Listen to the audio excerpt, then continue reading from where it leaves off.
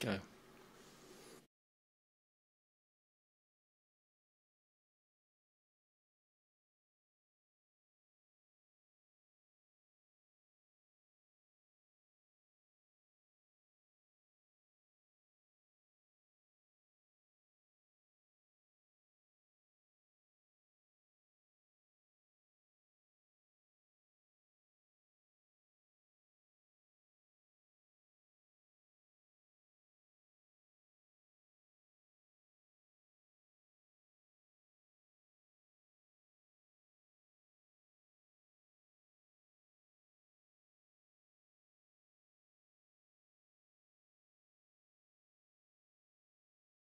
Switch that on first and then we'll try that again. Excellent. First technical issue. Anyway, hello everybody, welcome. Uh, this is now, uh, we are now live and I've switched the mics on. Uh, and ordinarily, this is a Sonic Lab presentation, so I think we'd be doing this live in the studio uh, where, because Jackson from Modal Electronics is just down the road normally. How are you doing, Jackson? Very well, thank you. How are you? I'm good, yes. Uh, and, and the reason we're here is because uh, Modal Electronics, uh, the, the Argon 8, which we've seen uh, well, in several iterations now, we've got not only have we got the uh, the regular Argon8, we've got the Argon8 X and the Argon8 M, uh, which I've actually got an Argon8 M on the test bench just here, which was sent just so I could have a look. And that's with I was just going to hook it up with the MPE. But there's a brand new OS. This is kind of a big deal for you guys, isn't it? It's basically a whole bunch of new features, quite a lot of big capabilities, right? That's right. Sorry, Nick. Just give me a second. One second there. Okay. Yeah. Sorry. Um, yeah, we're looking at um, so all the new features in firmware 2.0. So I just had a bit of loopback audio there. Uh, okay. Um, so we've got quite a lot of new features baked into the firmware now, and we've basically been fielding all of the kind of um, you know responses that we get from the YouTube videos and from our support inbox and stuff to implement as many of those kind of popular feature requests as we can. Um, so yeah. Well, so I mean, I reviewed the uh, I reviewed the Argon 8. Uh, it's uh, basically for those of you who don't know, eight voice digital wavetable synthesis with some really interesting features, kind of similar in many ways to. That, I mean, there are similarities to the Craft engine, but it's way more advanced than that, right? Yeah, that's right. So, I mean, kind of building on the technology that came with Sculpt and Craft, um, we kind of arrive at the Argon family, and you'll find a lot of the similar features, especially with Craft Synth 2, being that that was table synth as well. You'll find a lot of those similar features here, but with Argon, we kind of extended even beyond the capabilities that you had with Craft Synth. So, a much more um, capable sort of um, engine than than that one was. Excellent. I mean, just a quick look. That's the Argon 8 M, which is the desktop version. Uh, what what uh, what one are you rocking today, then, uh, uh Jackson? Ah, actually, there we I'm go. I'm surrounded by all three of them. Actually, I've got um, I've got an M in front of me, but, but we're going to be, looking, at this, um, um, just, the, just the original. Oh, when you do that, there's some audio coming through. Mm -hmm. Hold on, hold on. How's that? Well, uh, yeah, that seems better. Okay. Better. Okay. Um, so yeah, I've got the original 8 here, and then to my right I also have an 8X just out of shot. But yeah, we'll concentrate on the uh, 37 key for today. So there's new new features. I mean, I guess the bullet points are, you know, well, does this mean all ones that are shipping will now have the OS 2.0 on it? Is it a user upgradable thing? I mean, how does that all work? Yeah, I mean, obviously, um, the new ones that get printed from from now will will have 2.0 um, on them. Um, headline features. Uh, so we have selectable envelope curves. We've got new delay modes. We have a, a really big expansion to the sequencer in the form of a step sequencer. We've got all that parameter locking style automation. Um, we have MPE, and then we've done some improvements to uh, the kind of average output level, patch gain, and signal to noise ratio, so that you can kind of boost it a bit more. And that kind of is the helicopter view of the the, the new features basically. Right. Um, so so uh, well, I, I guess um, it would be probably pretty cool. Have, have you got anything to, just to play us initially that's got a kind of uh, this is what it can sound like, folks. oh, yeah. that's nice and stereo. Let me just get some. Uh, there we go. Can we have a look at the overhead shot while you do that? Let me just swap you over. There you go. bit of that width.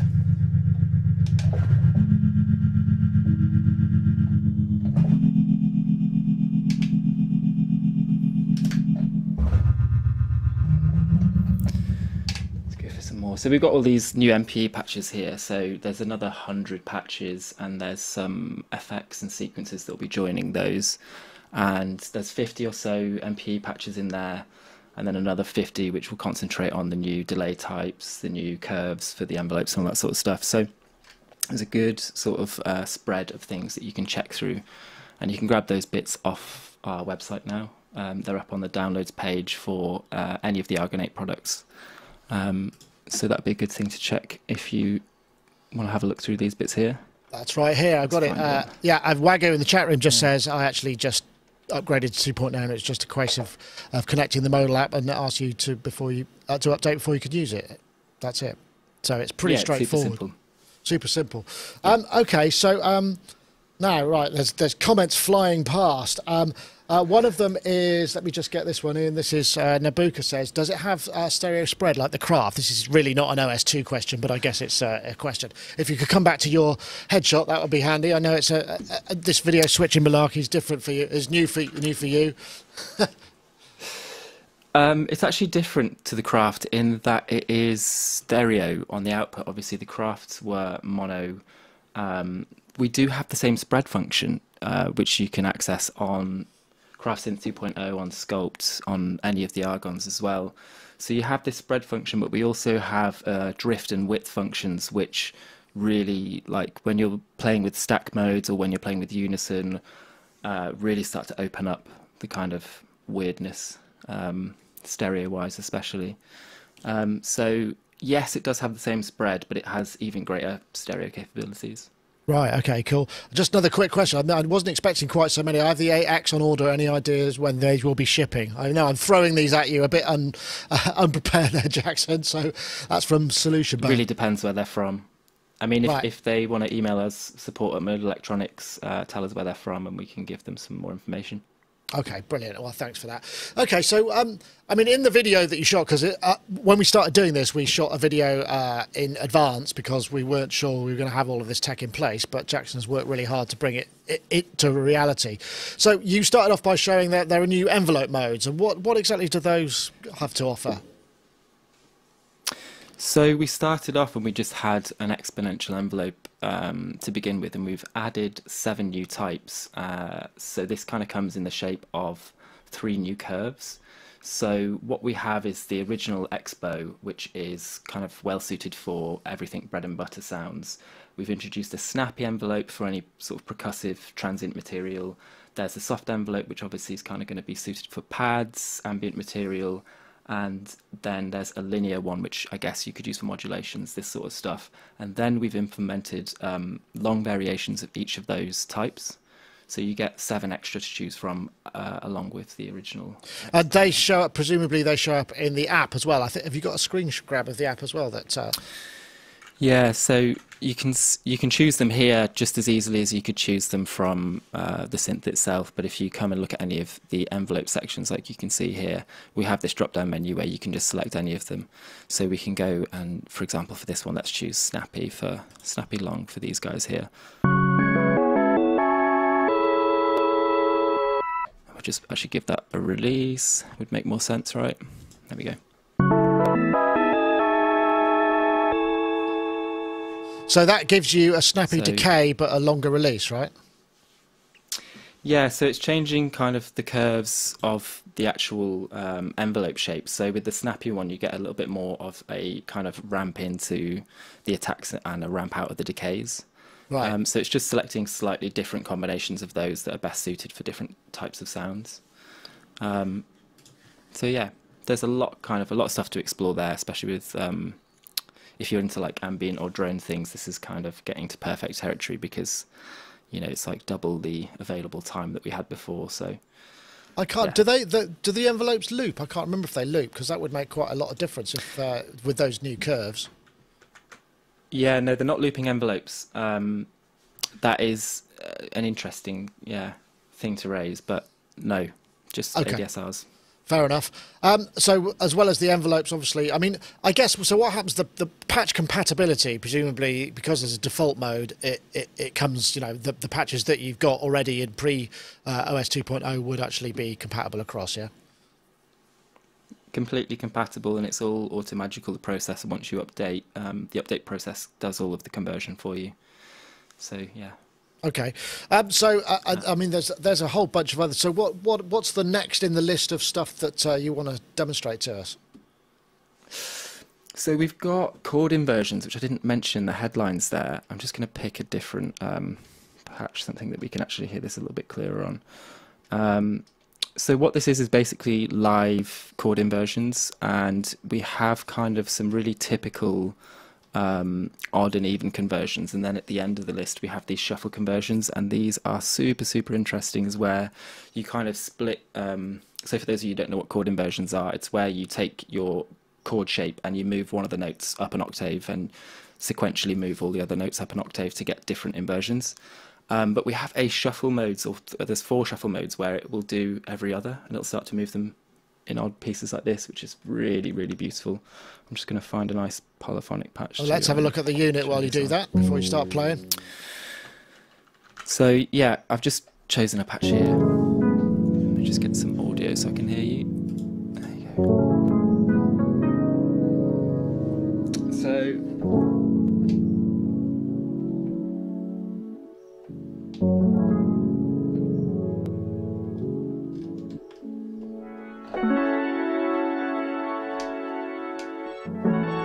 So that takes the actual voicing of that you're playing and reorders the notes that you've played in via MIDI. Is that what is that correct, or is it in the actual um, the the the, the, the uh, intervals in the oscillators themselves? It's in the engine and it is tied to oscillators. Yeah, so it's okay. reassigning and spreading them over. Where it gets really interesting, like I said before, is where you hear these shuffle modes. So we come to the end and we get these.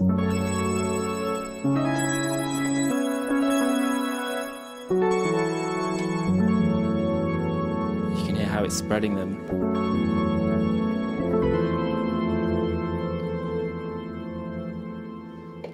Can, and can you modulate that? So could so could you have dynamic uh, inversions?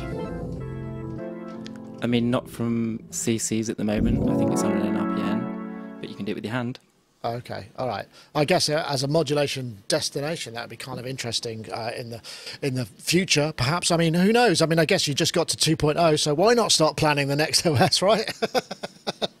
yeah, exactly. So, um, just to just to clarify, so basically, when you're playing a chord, it, it, is it to do with the spread of the oscillators that's creating the inversion, or is it to do with the notes you're playing in a? Say, if you're playing a three-note chord is it actually reordering the notes that you're playing in? That's what I was trying to get to the bottom of. I mean, yeah, essentially it is. Ah, okay. So it's just reordering the yeah. So okay. you're, you're moving. You're moving sort of all of them at once. I got you. Well, it, I mean, just looking at that, it looks like it needs to be modulated because you're modulating it by, by hand, and that's your what your your natural kind of uh, inclination seems to be. So uh, put it on the list, guys. yeah.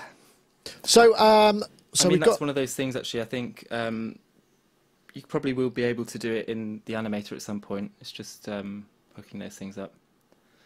Uh, there was another. There was another question that came in. Uh, does the sound parameter? This is again a bit, a bit sort of not necessarily sequential. Sound Source just says, does the parameter resolution of 128 steps affect affect how smooth things are changed? I.e., is it interpolated? Good question. I can't actually answer that myself. I'd have to ask one of the devs. Okay. All right. Well, fair enough. That's um, fair enough. It, it, interpolators is in slewed. If if if that's what they mean, then yeah, it's slewed a little bit. Yeah. Oh, I see. Yeah, I guess that. I mean, because I guess you could you slew in the in some sequences as well.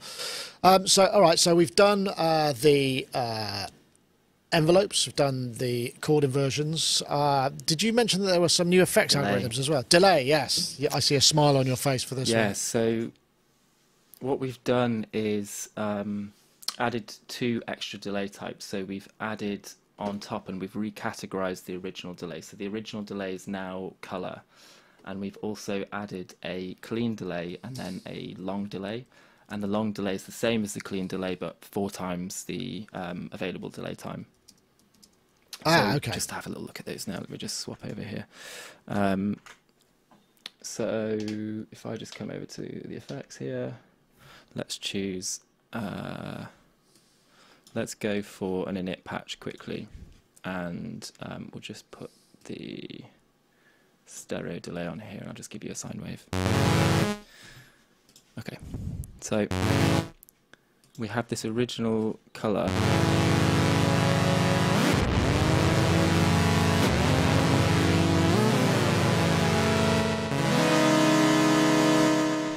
which kind of saturates and smears the tails a little bit as um, they feedback. And then we can move here in the FX tabs. You can see we have all these tabs. Oh, show us the yeah, show us the screen because if we're we're seeing. I can't see it. yet. Yeah.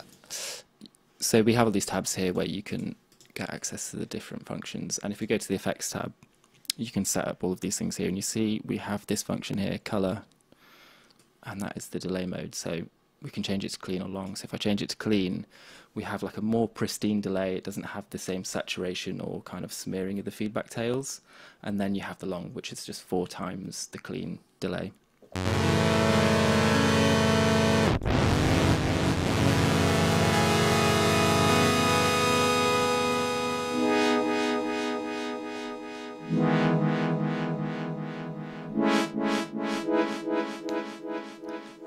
Right. So that sounds quite clean. Yeah.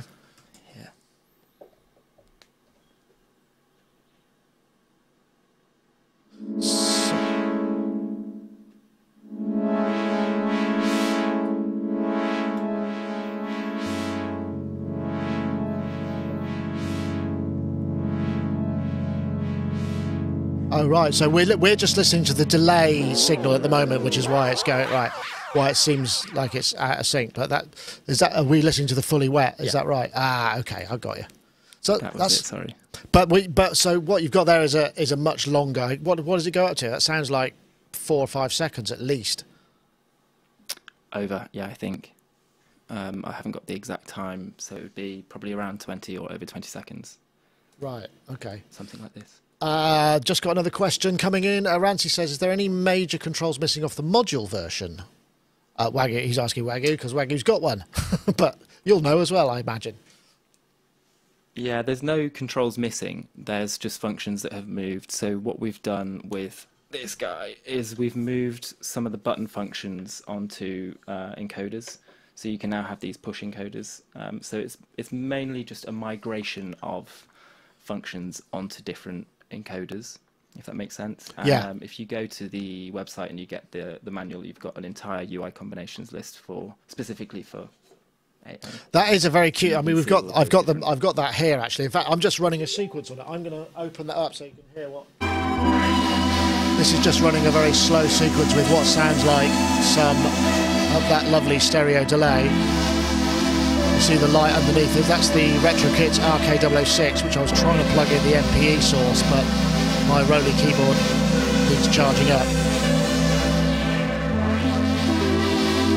Oh, isn't that charming? That's more my that's my my sort of ambient na- nature. I mean, that's the thing. Have there been any other uh, uh, um, changes to the? Have, have you changed any of the reverb parameters, have you concentrated mostly on the delays for this OS update?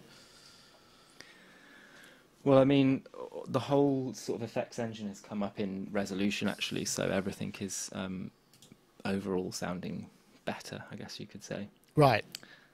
Um, but not specifically the delays are the only things that we've uh, made a, a bigger sort of change to um, at this point. Right. But that's Okay. not to say that we're not looking at you know new effects and things. That's something we're constantly looking at. And So I mean, I guess this towards. this this thing really kind of brings up because you see this with a lot of digital synthesizers or, or, or the new breed of digital synthesizers. You know, how much spare capacity do you build in the DSP? Because obviously you don't want to over qualify something and then find you're spending too much on the on the build co- uh, costs, but you want to have that capacity. So how much of this is actually sort of just re uh, engineering the code so it's more efficient to give you more capacity, and how much is spare capacity?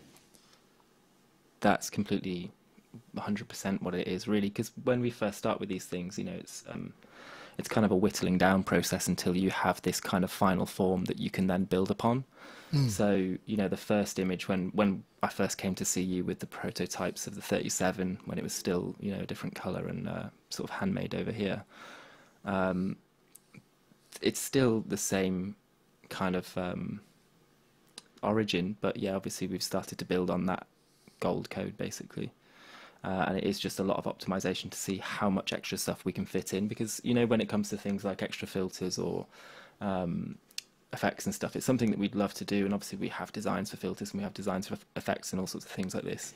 But it is about finding the you know the power and the extra cycles to do that stuff. So yeah 100% about kind of optimizing what we have to make room for improvement Interesting. Uh, we've got another question here, uh, which is a fair question, actually. This is uh, Redneck Discotheque, great handle there. Can you run audio through it and utilize the effects? Uh, so, because some synths allow you to just bypass the VCAs and the envelopes and just go straight in and, and access. Can you do that with this? Yeah, so these back panels are all the same um, connections for each of the units. You see on, I can't read backwards, but I think this guy here, we have a 3.5 stereo audio in yeah. and that'll come in post filter and you can send it through the effects or you can choose to send it directly to the output if you want to use it as a mixer stage nice um, one so yeah you have the option to use the effects with audio in that's re- I think that's really useful. In fact, now I come to mention it, I think I used it that way with a. Uh, I did a Friday Fun jam with the Argon 8 yeah. synth where I was doing that. I can't remember what I was putting through it, but I, I think I was utilising the effects you had there. Behringer, wasn't it? It might have been a neutron. Yeah, I think the neutron was just in drone mode, and I was just feeding it through. And yeah, I think it was just the effects. I mean, that's the thing with wavetable stuff. I mean, I guess the, one of the questions that I'll probably ask is uh, user wavetables, isn't it? I mean, that's the thing that because I think there was some talk at the beginning. I'm not, I'm not sure where we are with this, but there was some talk at the beginning of the possibility of having user wavetables. Is there something that, that might come along because it's kind of a complicated thing to achieve to the end user? I think it's a really complicated thing for a number of reasons. Um, and I think there is an elegant way you can offer that, but I think um, implementing it with Argon as it is is probably too problematic for um, just the amount of kind of um, yeah, the, just the overhaul that would have to happen. And you know, I think it's already been really carefully curated. Uh, the, the wavetables are ready to sound good with each other. And if we could put things in, you know, I see I see um, other synthesizers putting in the option to do this, uh, and and it's really nice. But I also think it kind of detracts from the original charm of, of the synth because you can you know you can really just go off down a, a, completely different path. We could just fill it with noise if we wanted to, which is great. But I think it also you know for me it detracts a little bit for that. I suppose the other thing is, is you need some space, don't you? You need some actually spare room to be able because if you replace wavetables, then loads of patches aren't going to work because they're going to be refer- referencing the wrong, the wrong waves. So it would be so you need to have that spare RAM or whatever it is that they would sit in, I suppose. There's a huge amount of stuff that would have to change if if we wanted to do that, and I just think there's probably a for us there's probably a better product for us to showcase that with. Right. Um, well, that's an intriguing. That's an intriguing answer. I'll leave that hanging in the air there. Um, so perhaps what we could have you got some other patches that you've kind of got because you must have been working with this a little while. It'd be good to hear some more stuff. I think. Let's do it. I've got patches falling out my ears, Nick. It's not a good time for the patches.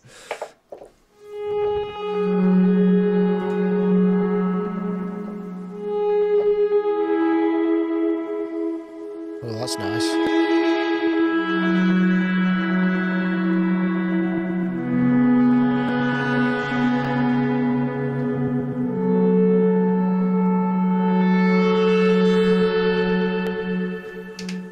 That using any specific OS2? Because you said that there was actually some uh, 100 new patches. Obviously, we haven't even got to the MPE yet, but I just thought it'd be good to have a couple more audio examples. Anything else you got? Yeah, the, uh, all of these patches are showcasing 2, 2.0 features. So this one has soft long envelopes in it. If I just flip over to the um, Modal app window for you here. So we've got the soft long envelopes. We also have uh, we're using the color delay on this one. So all of these patches here, if you just look in my bank here, I've got them all loaded from 300. We have the 50 MPE ones here, but they all have um, something of 2.0 to show off in them. So yeah, let's see what we can go for here. Let's find something. This one's a nice one. What's interesting? Is that some bit crushing going on there? Super yeah. lo-fi. Yeah, so we've got this lo-fi effect here, which is sample rate reduction and right. bit crushing and a little bit of noise as well, but that's not employed. Um, let's just grab something. Uh, maybe we'll get this guy. Of organ-like. It's interesting. Yeah, so that's just making use of the tremolo and the rotary effects, um, or actually just the rotary in this one, and maybe an LFO. So uh, just just while we're talking, while we're looking at the app, is the app because the app is Mm-hmm. uh, you're running that on desktop presumably. What does it run on? What OS is and what kind of platforms does the app run on? So the app actually will run on iOS, on Android, Mac, and um, Windows. Uh, you can find the kind of details of which OSs or which versions it, it will support on the website. But we also had recently a guy who's running Linux who said he had success um, running the app on Linux as well. Not that we can officially support it, but it's nice to know that it works. So all platforms, tablets, phones, computers. Yeah. Right. And um, obviously, you know, there's there's actually quite a lot of things coming up in the chat room, uh, which are sort of where where can I get it? Well, it's out of stock here. I mean, obviously, at the moment, you know, distribution is an issue. I mean, and that's not just for modal; it's just globally because the way things are. Yeah. But I mean, uh, are you are you sorted internationally? I mean, once it's all once the machinery is all running smoothly again, can people kind of pretty much get it from all major retailers? I mean, where?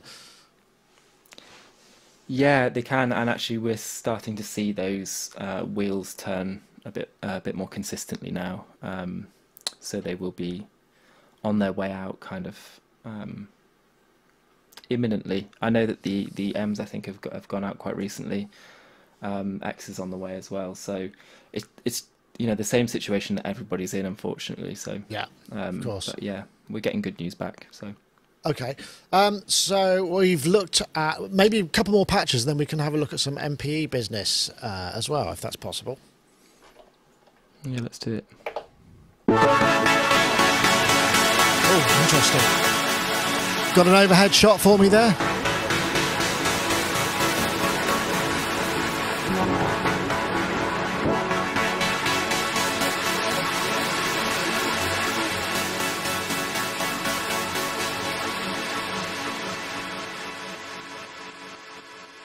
It's big, transy side chaining.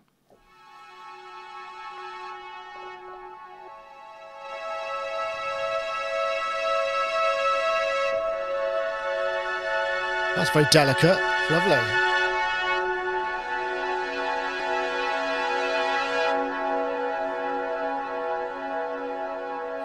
Maybe we'll look at some of the um, sequence stuff as well, just quickly.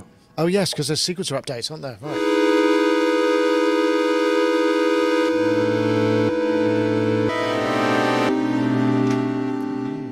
Okay, so I've got something already in here.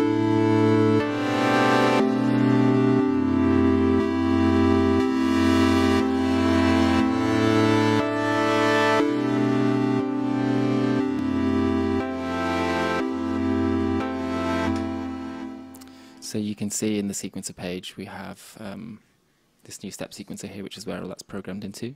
Ah, that's a lot of steps. Where you can.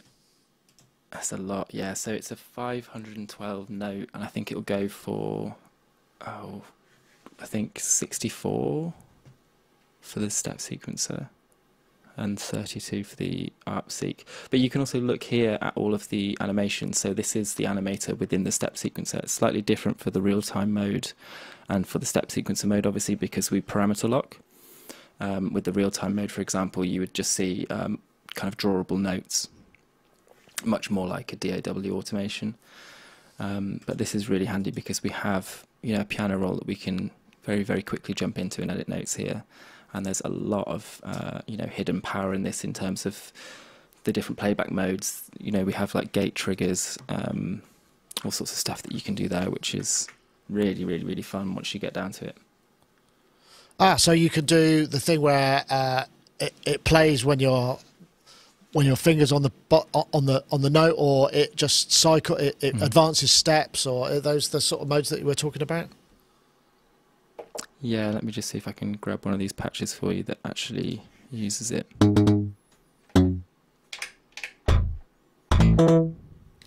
Okay, Seinfeld. So we have a little cheesy bass patch here for all you Seinfeld lovers.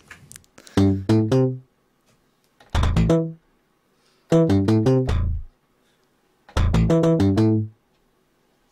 I'm just going to do this.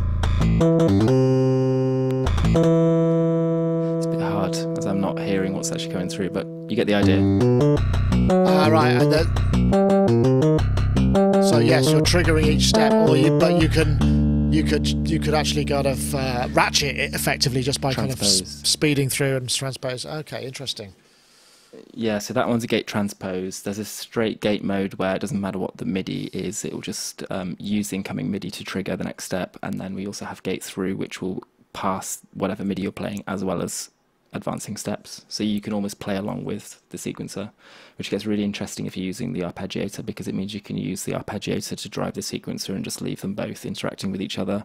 Odd step lengths, all this sort of stuff starts to become much more um, enjoyable. Yeah, when you're trying to explore things, you can get some really, really bizarre stuff happening. So And with the with the actual uh, parameter lock steps, I mean, does that slew between? Because obviously you can have quite radical steps, and depending on the resolution, can you get those to sort of slew so you get a bit more of a nice transition?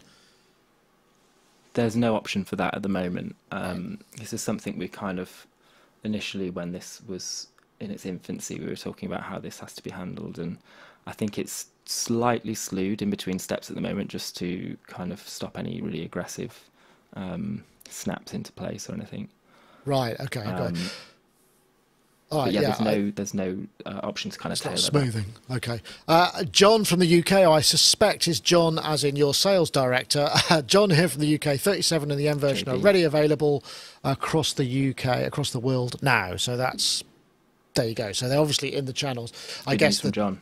The uh, the desktop or the M is the one that's going to be. Uh, uh, oh no, the M is going. The X is going to be the one that's probably taking a little bit longer. Have they? Have they there was another question actually. Are they are they FATAR keybeds in the uh, the main things?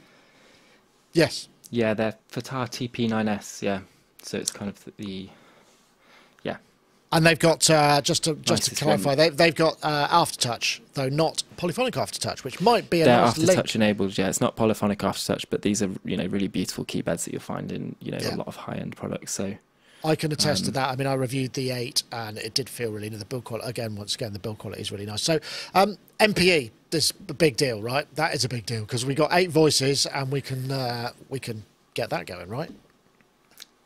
Eight voices and a crazy crazy engine to play with as well. So yeah, it's it was a, it was a long slog I think for the developers to actually get this one um, up and running. But it was one of those things I think we had um, on our checklist from the very early days because you know with the 002 being one of the first few to kind of support MP there as well, it was always a bit of a um, a fascination for us and something we're always interested in playing with. So when it came to Argon, I think it was the logical decision that we want to try and implement MPE. And um, So uh, yeah, I, I know because you do do some MPE demo in the video that you shot for us. Are you set up to be able to show us some MPE live and direct? And how? Have, what have you? What are you me using? just pull this. I have a seaboard just out of shot here. Um, I've got a. Uh, it is connected up. Let me just get my audio monitoring on. So yeah, Okay. I have a uh, seaboard just out of shot which I can play with, and um, I'm just gonna roll back through to some of the MPE patches here. So start at the start.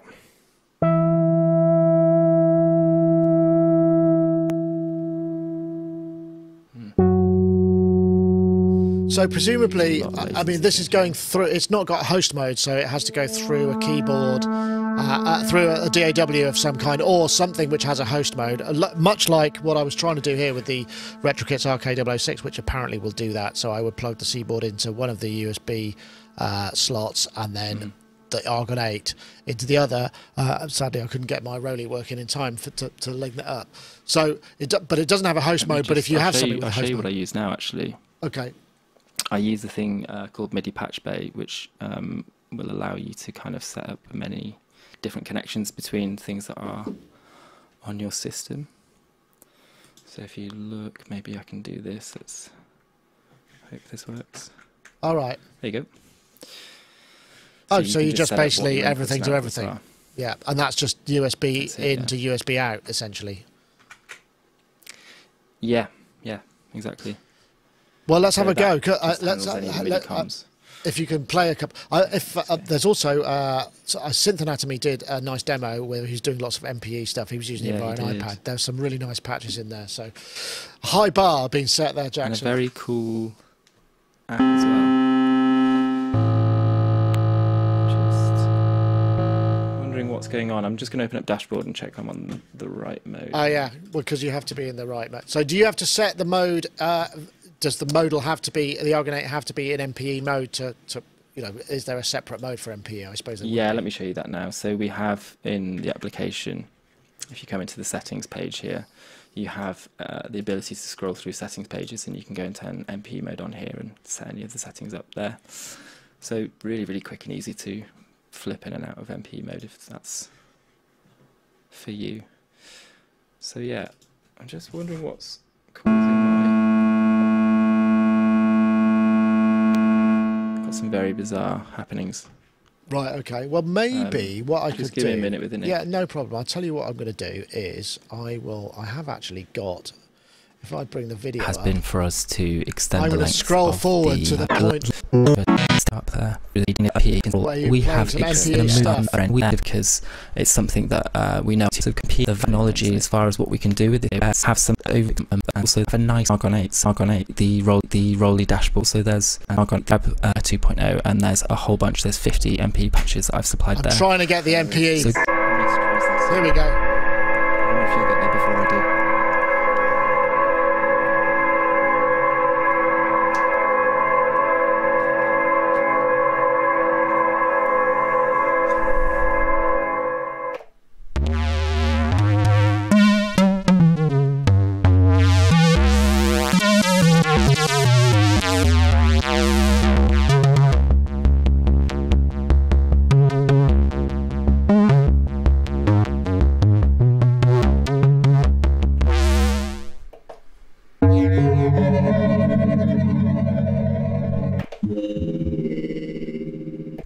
Wraps it up. So we might talk about Right. I- hope I've managed to uh, cover up some of the uh, your your finagling around there with the uh, MPE setup your end. I know um, it's worth mentioning actually at this point uh, because uh, ultimately you know this is any kind of compute any kind of multi-camera streaming setup, uh, particularly when new, is going to tax your computer massively, which is why we're seeing a little bit of uh, sync delay with uh, Jackson's camera and things are creaking at the edges. You'll have to get the boss to to plump for a, a brand new uh, super powered uh, video capable iMac setup, right? yes. I can't. Well, mean, yeah. I, I'll I'll I'll vouch for you there. So, um, how did we go? Have we got have we got anything lined up your end? Did you manage to get the MPE routing sorted out in your? I'm just getting a lot of latency through Soundflower, so it's actually quite difficult to um, Yeah, I think that's probably the issue. what's going on before it comes back again. Okay, well maybe the thing to do is uh, is to well let me see. I, I'll see if I can find uh, the um, the synth anatomy one because that is really good actually, uh, and th- then we can then we'll be able to see a little Tom bit. did a lovely job with that. Uh, then we'll be able to see a little bit of how that was working. I'm just going to load that up. Uh, let me see. Uh, so, I mean, outside of what's happening, uh, th- th- this is this is available. You launched last week, right? Am, am I right in thinking? Last Wednesday it was live, yeah. Midday on Wednesday it went live. Right, and uh, so people could just pull it straight we've down. had, um, Hold on, so I'm just trying to do a search for this is the live production synth anatomy. So I'm just looking for that. I'm trying to find his video because it's uh, it's the one I'm trying to find. Where has he gone? I'm sure I saw it yesterday. Uh, ah, here we go. This is it. Let me see if I can find it here. So this is uh, uh, skip the ad. If I jump forward a bit, let me find. Now I need to set my output.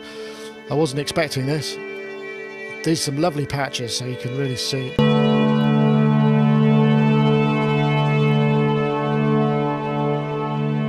So he's using the. Uh, I'm not sure what the app is there on uh, on the iPad, but it's just basically class compliant going into uh, the Argon 8 and flipping through. It's really nice for ambient stuff. I mean, the thing is with MPE is, and I don't, I, think, I don't think a lot of people kind of get that when you play it when you've got that pitch modulation, which you can sort of move around a little bit, it's actually quite liberating because you end up with these variations which tend to fall between the cracks because when we're working on the 12 tone scale the relevant the relative and and those kind of 128 steps you can kind of wiggle the difference between the chord notes and get these really interesting scenarios going on. So we'll just have a play a little bit more of this I hope Tom doesn't mind us uh, using some of his video. Uh, he is obviously, if you want to uh, check, synthanatomy.com is where you can find a lot of this good stuff. Um, right, so uh, uh, so Jackson, is there any other stuff in there that we need to cover while we're uh, while we're here, or have we pretty much got covered all the new things? Well, one of the probably biggest requests that we had when we initially launched. Um, with the 37 was for improvements to the audio output level. Right. And um, what we've done to kind of address this is, um, I mean, it's it's really good because it's not just giving you one option that says yes, it's louder. We have some really really nice tailorable options. So we have included a new feature which is called Gain Boost. Um, this will give you three different options to um, boost the overall output level of the synth engine. And then we have made improvements to the patch gain feature, which was something we implemented in 1.2, I think, which um, is basically a, a gain setting for the individual patch, so it's per patch uh, setting of gain before it goes into some dynamics processing on the output. So you could use the patch gain and also the gain boost, um, uh, you could use both of them together to kind of drive into this uh, dynamics processing, um, which is really, really nice actually so it's really, almost really like a character. mastering stage, uh, limiter stage on the end kind of thing, right? Oh. Yeah, exactly. It's um, it's just got that kind of um, ability to glue things together. So especially with effects and things, or um, you know, if you've got something which is maybe a bit quieter, you can bring those up to level. But it is with effects tails and things, it's going to glue all that stuff together, which is really nice. But we've also made uh, improvements to signal to noise ratio. So for anybody who is trying to, you know, gain that on their inputs, right, they're not going to have as much undesirable noise. The one thing I did notice is, I mean, this was the case when you go from sort of unison mode and you're spreading the oscillators, you get a gain, you get some gain change because you're sort of essentially uh, I guess, dropping the level of the individual uh, components. Is that sort of evened up a little bit, or is that still yeah. a thing?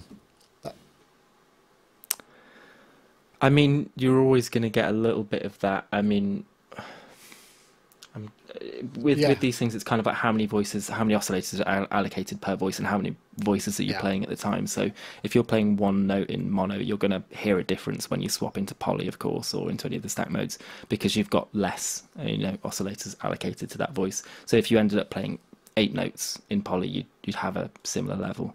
I think that's um, yeah. Right. Okay, I got you.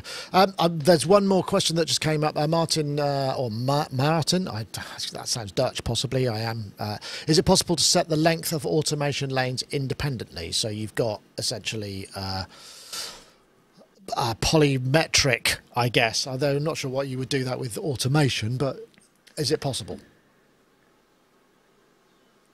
Um. Uh, yeah, I know what he means. Um. Not currently um, because you set the length for the whole sequence. Right. so uh, the the step length is equal to um, whatever you or however many notes you've programmed in or whatever you've set the step length to within that step sequence.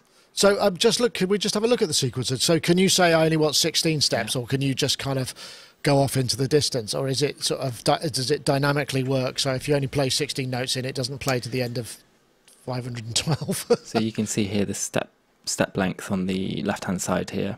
We have the individual steps, but then we also have the how many steps are in the sequence. So you see as I drag it, it ungrays and grays out. And that goes all the way up to 512, right? Wow.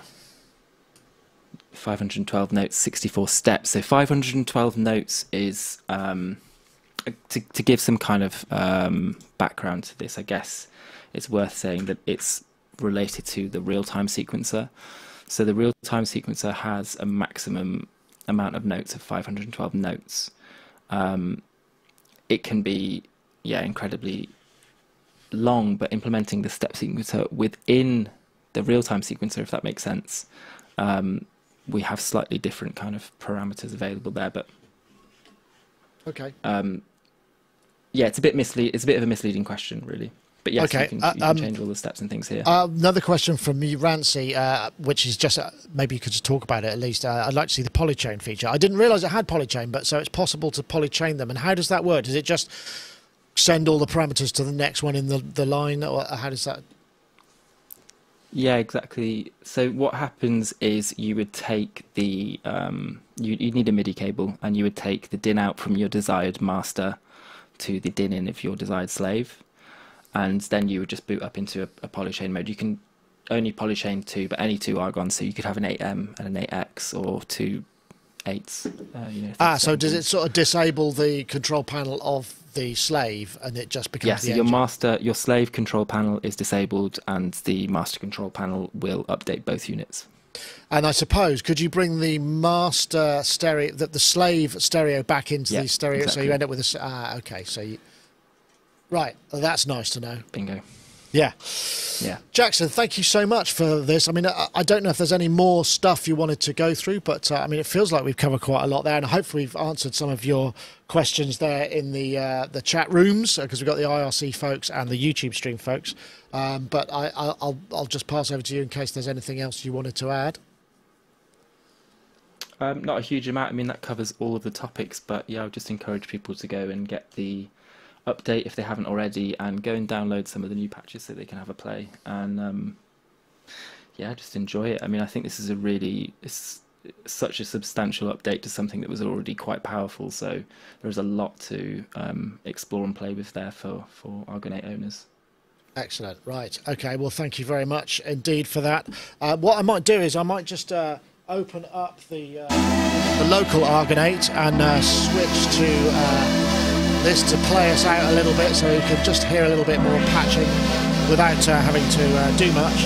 Uh, but Jackson, thank you so much for joining us. It's been it's been an education at Yeah, least because we haven't we haven't done one of these remotely before in real time. A lot of the stuff that we've done before has been recorded. So thanks for being a good sport uh, for joining us, and it almost worked all perfectly. So that's perfect. Ninety percent. 90%. Excellent.